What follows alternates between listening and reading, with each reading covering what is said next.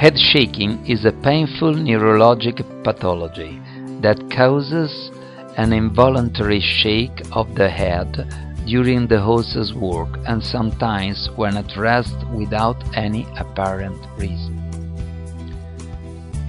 Often, these episodes are violent and uncontrollable and repeat themselves with an alarming frequency. Various stimulating factors such as light, work, food, smells, etc. can stimulate the motor and sensory fibers of an altered trigeminal nerve giving sensation of burning, tingling, itching and electrical shock in the nose and in the face. The pathology of the trigeminal nerve in the horse is very similar to neuralgia in man and here too the causes are unknown.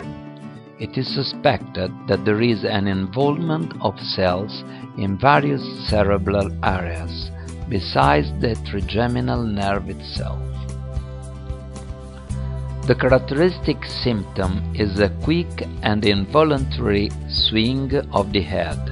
Sometimes the horses are so deeply upset that they become dangerous for themselves and for their riders. These symptoms can persist for the whole year or appear seasonally in 60% of the cases.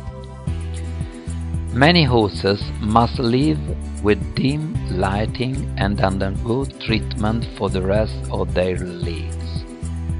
Those that are refractory, unfortunately, are left with the only solution of euthanasia for humanitarian reasons owing to the strong persistent pain.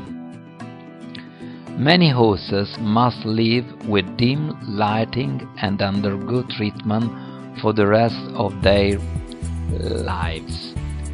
Those that are refractory, unfortunately, are left with the only solution of euthanasia for humanitarian reasons owing to the strong persistent pain.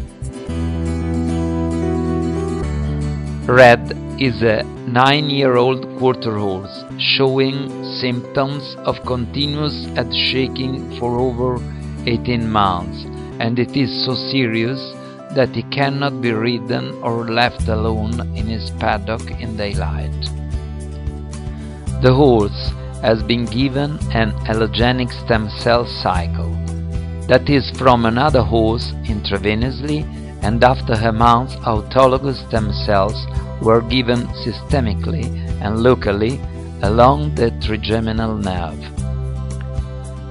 As usually happens in head shaking, the results appear after a few months, when the owners have given up hope.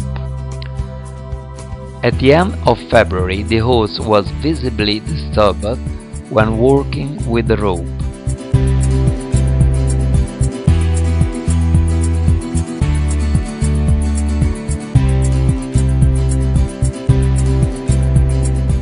But by the end of June he could be ridden like a normal horse.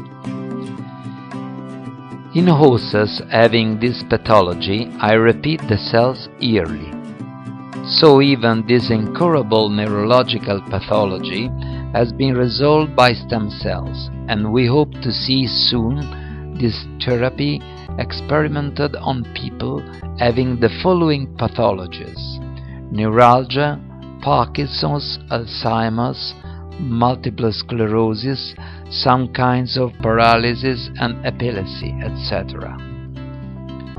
Today we finally have a budget plan for the first phase for experiments on humans and we must choose solid partners.